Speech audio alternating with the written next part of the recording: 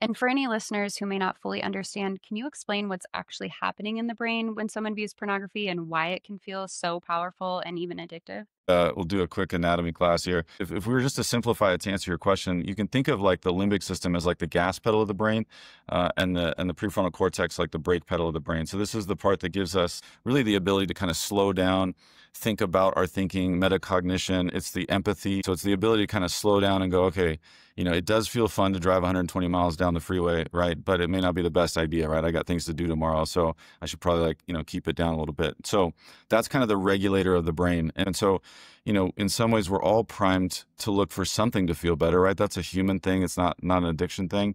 Uh, and so when the teenage brain starts coming online and we start getting exposed again earlier and earlier to some of these powerful uh, experiences and substances, it's like that lights up the limbic system, that middle part of the brain, right? That teenage brain. The more you fire the limbic system, right? The, the more overactive, hyperactive this gets. When this is lit up like a Christmas tree, what they observe is that basically the prefrontal cortex, the top part of the brain, goes dark.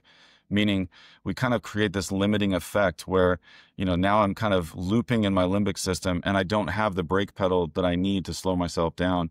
And so you do that for, you know, years and years, decades and decades. It's like we are in many ways underdeveloping our adult brain, our ability to slow down and re- regulate and connect with others. And we're just lighting up that teenage brain like a Christmas tree. And so in some ways, it's a form of like brain damage, arguably.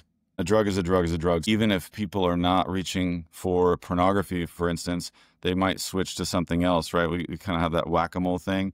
And so you'll see like some of these binge purge patterns where, okay, I'm not going to do this for a time, but then I'm still lighting up my brain in another way with something else. And then I wonder why like I can't seem to break free, right? Because I'm always kind of finding something to, to substitute for that.